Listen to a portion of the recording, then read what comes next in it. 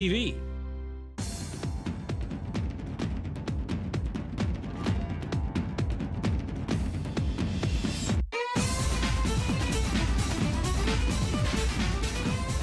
And welcome to Out of the Fog.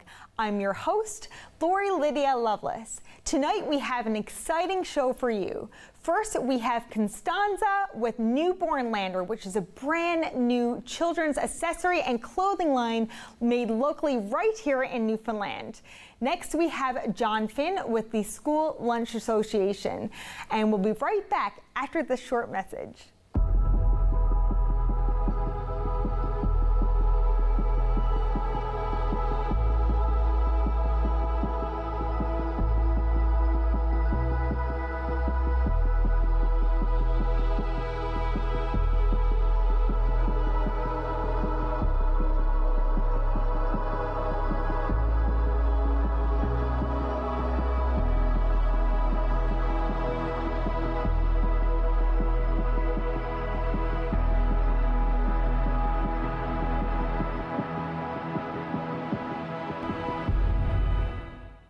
And welcome back.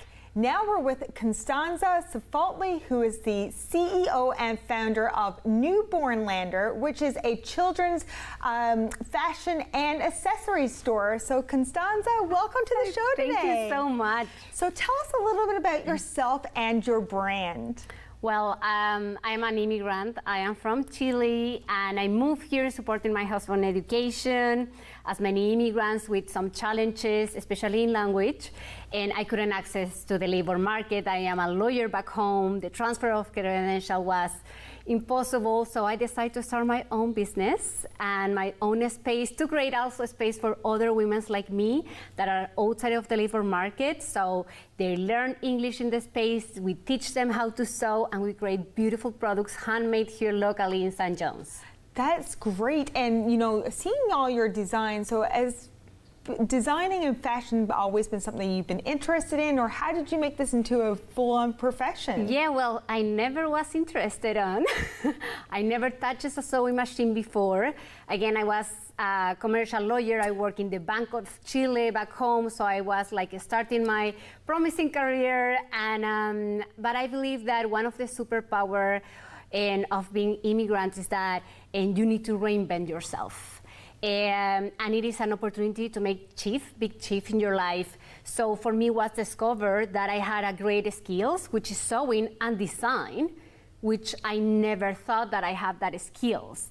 And definitely, I have a gift. And yeah, oh, here we are. And you've actually showcased your designs on a popular TV show, Dragon's Den. So, yeah. can you tell us a little bit about that experience? Well, the Dragon's Den was a big aha moment for me because I believe, um, one, you don't need to be an expert in your industry. That is not true. And that is what happened to me. I never been an expert in manufacturing or textile, which is good because you can without rules. But when you think that you want to start a business today, we are in this big trend of tech. And maybe many young entrepreneurs believe that for being an entrepreneur and successful entrepreneur, you need to create a really high tech app or something. And, and no, it can be something so simple like sewing baby accessories. So for me, when I applied to Dragons Den was because I really believe that we have a story to tell, that our story is unique and powerful. So I believe that if these dragons, which are big investor, doesn't matter the size of my business or even like what we are doing, because if I tell you we do baby hats, maybe it's not too sexy business to invest. but if I was able to tell the story and engage them more in their humanity and call to that many of them have a background as an immigrant, I knew they would be engaged. Mm-hmm. So the experience as an entrepreneur was amazing. And the experience to hear them, to talk with them, and to spread the voice about what we are doing in Newbornlander was really powerful. And you know what makes your brand unique to in comparison to all others out there? I know that you know uh, lots of parents favor your your brands and your your fashion. So tell us a little bit about that. Yeah, so I, I, I like to explain that in three different pillars that I believe that we have. One is the product itself the quality, the design, that we have a, a, little magic there because a lot of parents tell us like, your hat is the only hat that my children keep on. it's like, well, I don't know why, but that is what happened. And so we always think when we design and choose fabric, we think in the child and in the parent. I will not fight with my children to put a hat mm-hmm. in the mm-hmm. morning. So need to appeal for both. So the design and quality is one thing, the product itself. The other one is the social and environmental impact mm-hmm. that um, these products have. So um, our customers are people that care about the environment and care about who is behind the machine. The textile industry, it is one of the have the higher number of human exploitations that most of time are children's and moms and women's, you know? And so all these have a local impact in our economy, but also in the life of the women that manufacture this product. I know immigration is a huge topic across Canada, and I always like to say this quote that it's not your fault, but it's your problem. Mm-hmm. It is mm-hmm. our problem right now, and we need to do something. And I be not solve the whole problem, but we can alleviate it. Mm-hmm. And the other pillar, it is the heritage of Newfoundland and Labrador and, and from our Atlantic provinces as well in our products. And so we try to choose fabrics that might talk about the space or where we are. And, um, and a big background of heritage, it is our new accessory, which is the Island NL that we will launch soon. So tell us a little bit about these items that you have here. I mean, they're beautiful designs, and I have to just say, like, look how sweet they are. Yes. and you know they are just so beautiful designs. And um, so tell us a little bit about what we have here today. Yes so well the story of Newbornlander always been focused in accessories. We don't do clothes because manufacture clothes and compete with the retail it is tough. But you know we believe like as an adult we choose a special glasses you know your wallet like the accessory. So we believe okay the trend today is like and children are wearing solid color, really minimalist. So the catching eyes, it is the accessory, the hat. Right. And so that is our big core. Hats, the booties and beep. Many of the products that you see there was developed wow. thinking in reutilize, like use the fabric that are left in the process of cutting of the cutting process. So, and we take care about every single piece, trying to maximize that and have hopefully at less waste possible. But a big inspiration was the island NL by Newbornlander, this product that you see here. And there we have two, the big island and the small island. So the big island, it is an accessory for sleep. Oh, excellent. So so the, the child can sleep in this, is that In the bigger in one. The big one. In okay. the big one. Excellent. And the small one, it is developed to have a playtime, you know, yeah. a practice the tummy time, starting the sitting. But what promised the island to the moms and children and baby is a transportable piece of home. Mm-hmm. And what promised to the women that are making the island, that are refugee women, is a little piece of home in their new island that they are living, which is Newfoundland and Labrador. Yes. So this is, a, we want to create a project, a settlement employment project for refugee women. So the revenue of the island will be invested in have ESL classes in the store and have training in sewing and then employment. So it is a big project that speaks a lot about our social commitment and mission. And, um, and I believe this could be a big before and after of our um, business thanks to this product. And your business has been booming, and you know you've been doing incredible things, you know, in our community and all over the world. You actually represented Canada recently. Yeah. So tell us a little bit about that. So um, I was selected to represent Canada in the G20 as a young entrepreneur, and also I was picked from the 45 and representative from Canada to be a guest speaker and in the G20. And my topic was environmental, social, and governance, ESG, that today is a big topic for all companies. Mm-hmm. And it's crazy to think, and, and, I feel that is life, and I am so grateful about that from Dragon's Den, the G20, winning national awards, because when you believe that you are a small business starting in a home base in home, you know, in my house, I started with a domestic machine with $360. I started this business, and then you see all the impact that have that we are talking now in international stage. It is really powerful, And, and I feel it is also a really good reminder um, to myself, to my team, that doesn't matter, and everyone, that doesn't matter the size of your business, and your impact can be so powerful that in Newbornlander exceed the yeah. size of the business. That is amazing. And, you know, we've actually met before, Constanza. You know, we actually met at the uh, St. John's uh, Fashion Week, which is the very first one, and they showcase your yeah. um, fashions and your designs. How did that feel for you? That feels really good, really challenging. Mm-hmm. I will tell you, my environment is immigration, entrepreneurship, but fashion, I never consider myself like a designer. So when I get selected to be a designer in the St. John's Fashion Week, I was like, well, this is a title or label that I never had, like I never thought or I never think about it. But it is funny to see the perception, and because truly I am a designer, mm-hmm. I have skills. It is just I, I never. It's still new for me. So it's really kind of funny and impressive to see like first for me was a challenge to own that title. I am a designer and Children's Goodby, you know, wear my hats and clothes and it is a brand and that is recognized. So that was really powerful and challenging at the same time, but I have so much fun and I was so honored to be in the stage in the, you know, the first day and with other amazing designers of clothes. Some people approach to me like, oh, you make this teacher or your sweater and it's like no i just know how to do this.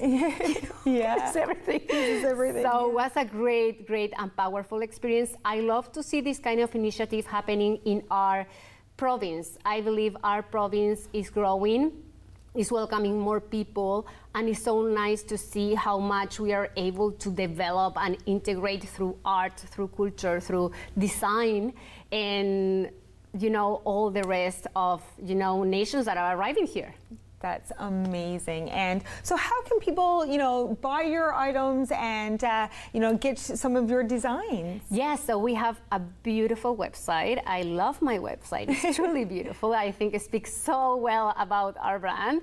So it's www.newbornlander.ca. We have a storefront location at 3 Cashin Avenue. If you go to that space, you will see how we manufacture the products. I feel that is the beauty of our store that you enter and you will see two open blue doors that will be show you who is behind the machine. Some people go and want something, a hat in this fabric, and we are like, okay, can you wait five minutes? We will do it for you. Wow. So it's like cooking yeah. on time.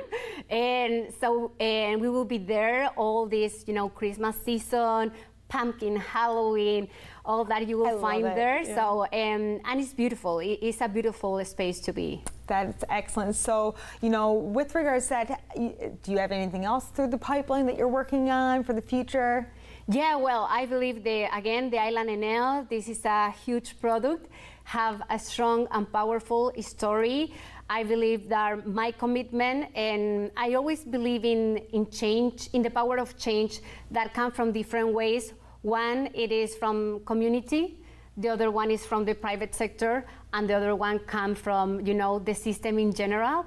And so I believe that the project that we are launching with the island, which is a settlement employment program for refugees coming from a private, speaks so much about and the innovation and how we are trying to drive and pivot, you know, our social commitment and welcoming women that today might be isolated at home. And we believe in them, we believe in their potential and we want to invite them to go outside home, learn, create opportunities, create community and be part of this community. It's so great to see your passion and thank you so much for being with us today, Constanza. Thank you so much for the invitation. I'm so excited to be here. Thank you. And we'll be right back after this break.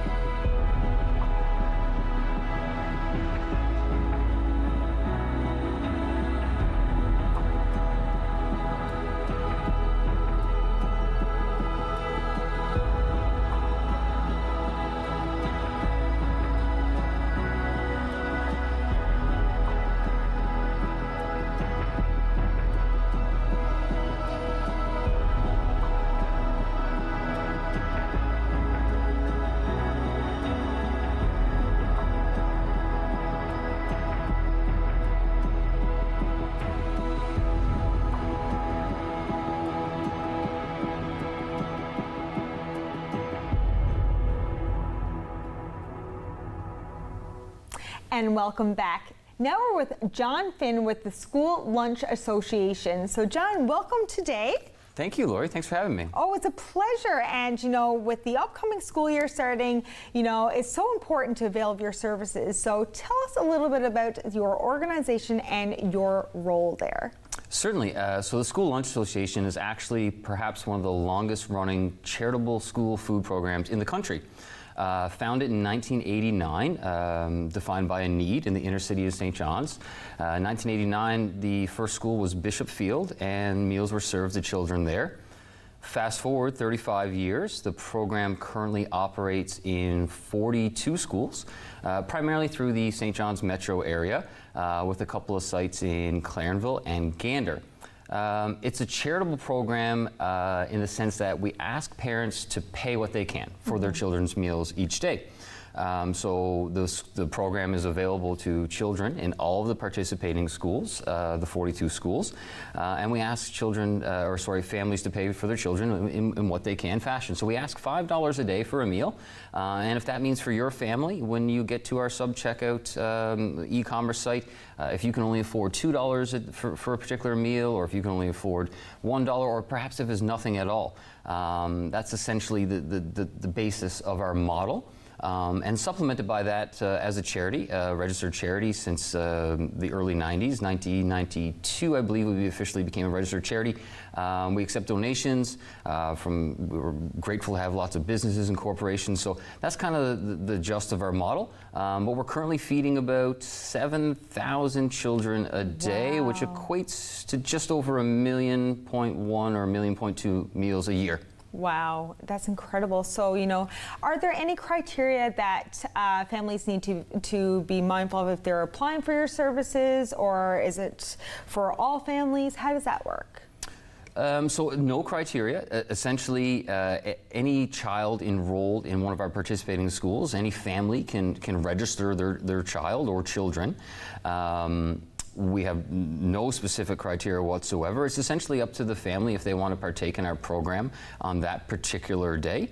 Uh, it, our program was designed as a non-stigmatizing program. Mm-hmm. So when I say non-stigmatizing, what I mean is essentially uh, when you proceed to the lunch line in any one of these 42 cafeterias, uh, the same meal that is offered to you is offered to me. Um, and so, whereas perhaps, Lori, when you and I went to school, you can remember the days you, you, would line up in the cafeteria and I would probably order the pizza and you might get the french fries. And it's pretty telling as to what each family can afford. So maybe I can only afford a muffin. And in front of me, you have the pizza and the fries and what have you. Um, our program is designed in the sense that uh, there is no change of cash at hands for the children. That's all taken care of online in advance. Um, and then each child has a meal, and neither you nor I or nor any of the children know how much our family paid for that meal.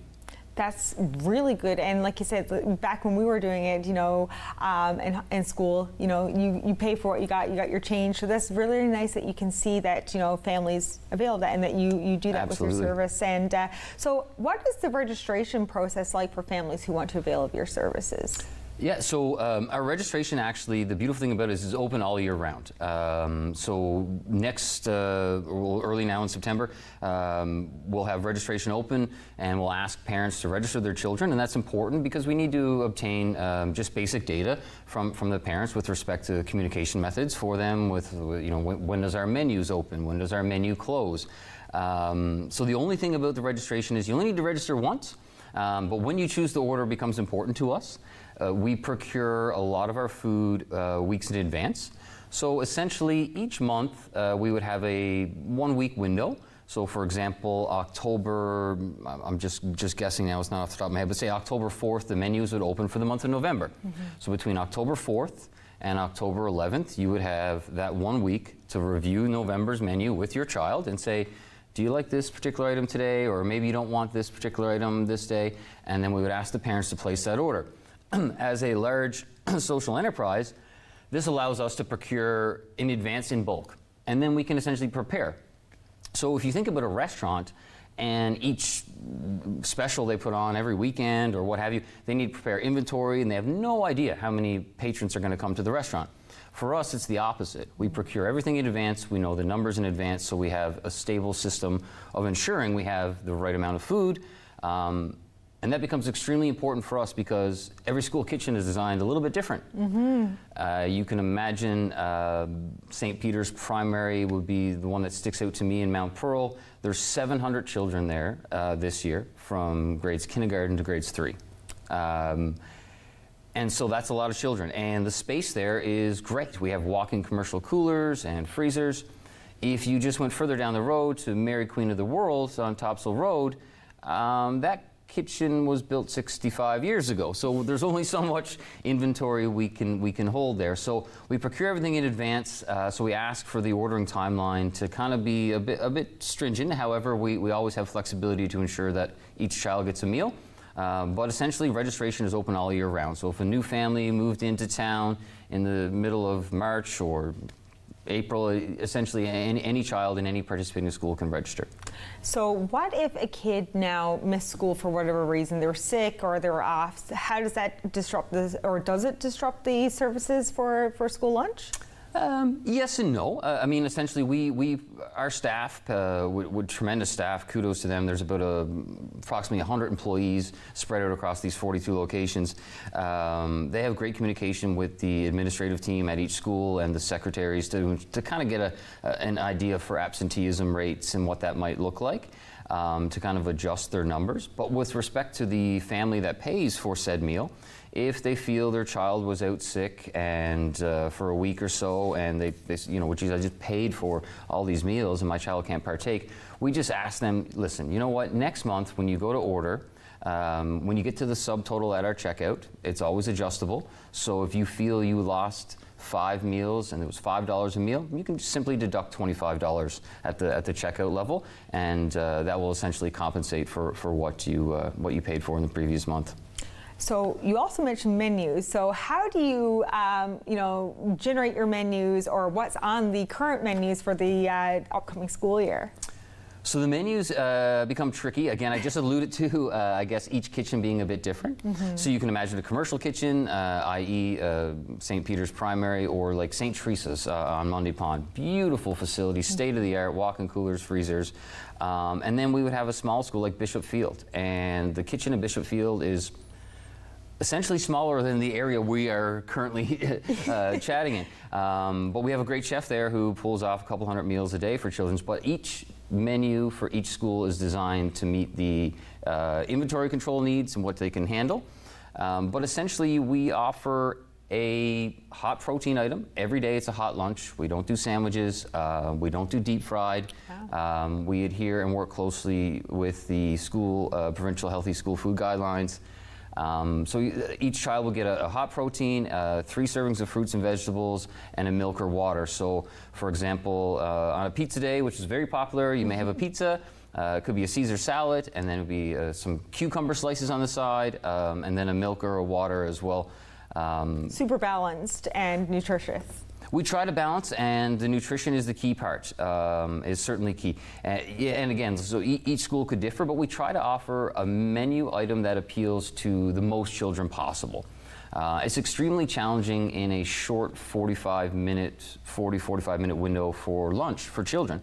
Um, regardless if you're here or New Brunswick or Ontario, it, every school has this challenge. You have a very short window to prepare lunch, and considering your population of how many children you wish to serve, and that menu item, uh, there's a fine balance there, but we're very fortunate. I'm very fortunate uh, to have a tremendous staff that uh, seems to execute, execute this uh, quite efficiently uh, day in, day out. And you know, donations are very important for your organization. So how can people donate and help in regards to that?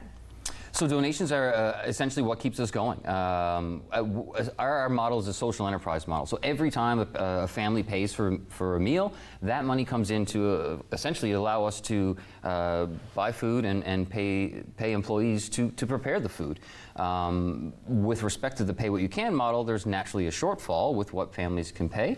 So donations are extremely important. Um, you can visit us at www.schoollunch.ca we're pleased to have so many parents uh, and teachers and administrators who contribute to our program uh, to allow us to keep going. And, you know, with regards to that, you know, you're administrating, you said 42, 43 schools now? 42 currently, uh, or 43 this fall, my apologies. For, it'll be 43 this fall. So are you planning on expanding or what's your, um, you know, I guess what's in your um, focus and for your for the future for School Lunch Association? Yeah, no, well, uh, just to give you an idea, so in 2016, just about eight years ago, we were in approximately 15, 16 schools. Today we're in 43. So that's almost a tripling of wow. size uh, in just an eight year period. Uh, we've been working closely with the provincial government to look at ways to incorporate other regions of the province.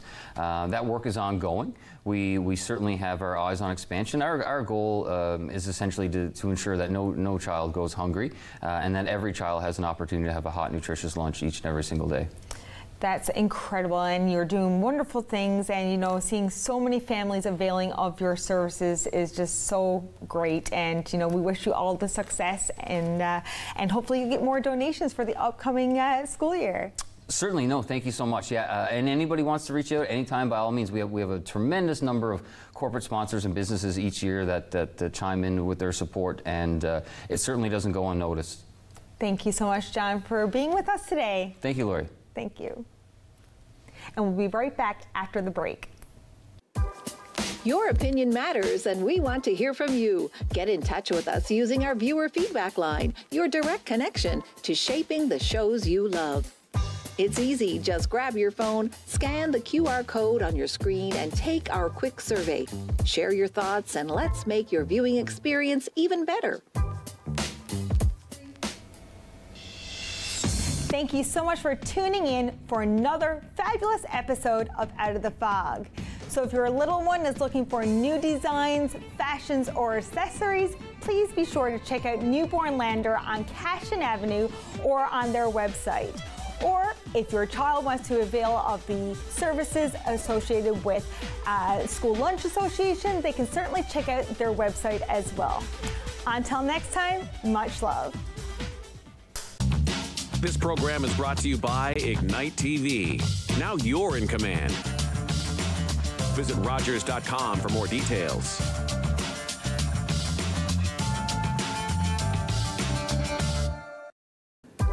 We want to hear from you. Provide feedback on this show or find out how you can get involved. Call, email us, or scan the QR code to take our quick survey.